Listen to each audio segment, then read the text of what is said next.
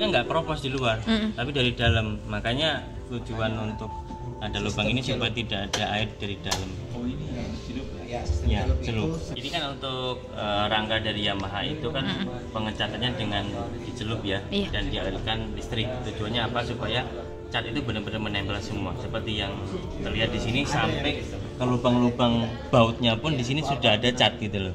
Karena dia dicelup. Oh, iya. nah ini ini hitam semua Iya. kan karena kita sistem celup semuanya itu terendam dan dialiri listrik supaya apa catnya itu benar-benar menempel. Hmm, hmm. proses pengalian listrik itu untuk mempercepat cat itu menempel dengan bahan utamanya. Ini sengaja Oh, iya. di sewing Coba agar untuk sampai me- luar dalam nih sampai lubang boltnya pun ada. Iya. konsumen ya. ini ini ini, ini, Ini semua. contohnya. Ini adalah contohnya pengelasan menggunakan robot jadi rapi sekali ya. Jadi ini semuanya sistemnya robotik untuk pengelasannya.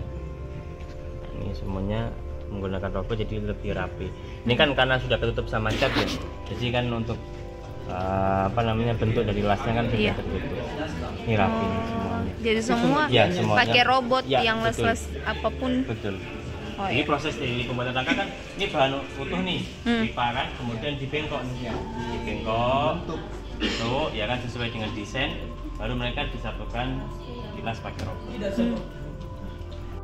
Lubangnya itu ya. ya pakai Oh, iya. saya. Lubangnya di sini. Diisi ya. Ya, ini kita isi di posisinya 500 mili ya, Hmm. kita masukkan.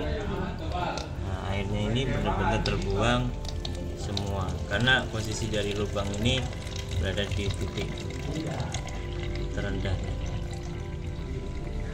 Ya, airnya pun kita alirkan supaya tidak ada air yang tertinggal yang nantinya